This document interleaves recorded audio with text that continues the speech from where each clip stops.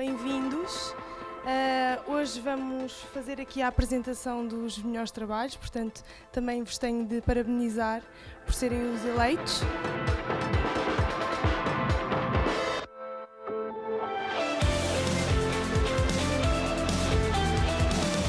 A Fundação da Liga foi criada com um objetivo social, um objetivo de responsabilidade social e achamos que uma responsabilidade que temos para com a sociedade portuguesa é o desenvolvimento da investigação, o desenvolvimento da capacidade técnica e achamos que temos que dar oportunidades, a entrada de novos talentos na área da gestão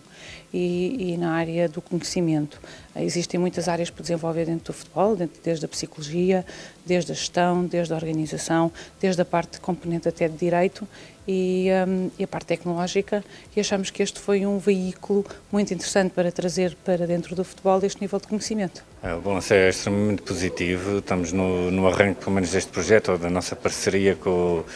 com a Liga de Portugal, nós, Federação Académica de Desporto Universitário, que atuamos no domínio do desporto, educação e juventude, portanto isto é, os objetivos do Centro de Estudo entram bem naquilo que é as nossas prioridades,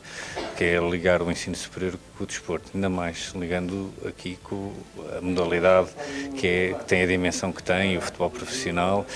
trazendo aqui, levando-a para o ensino superior, eh, procurando eh, a inovação e criando oportunidades para, para os jovens eh, estudantes e, estudantes apresentem trabalhos e tragam também eles inovação para o, para o mundo do futebol com, com, e tivemos aqui trabalhos magníficos, muito bem apresentados e estruturados em áreas completamente distintas, uh, componentes mais jurídicas, mais tecnológicas. Isso é muito positivo e é enriquecedor e é um projeto que eu acho que foi muito bem abraçado pela Liga Portugal e pela Fundação de Futebol e que estamos aqui a apoiar com os nossos parceiros, a Sabsega e a UI. Portanto, é de continuar e estamos muito satisfeitos. Acho que é uma iniciativa louvável da eh, da Fundação do Futebol, uh, que tendencialmente vai dar um impulso uh, significativo à investigação e, portanto, à geração de ideias inovadoras, criativas, com aplicação no futebol.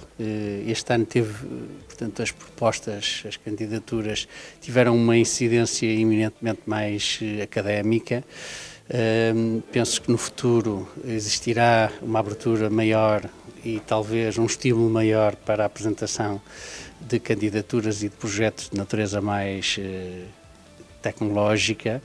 uh, que podem até uh, constituir desafios interessantes para projetos de empreendedorismo. e, portanto, acho que isso que é muito, muito importante. Portanto, estamos, eu diria que estamos no início. a minha expectativa agora é Uh, o que é que vem no próximo ano, o que é que vem nos próximos dois anos, como é que se articula, portanto, esta iniciativa uh, do ponto de vista mais tecnológico, por exemplo, com a componente mais ligada ao financiamento,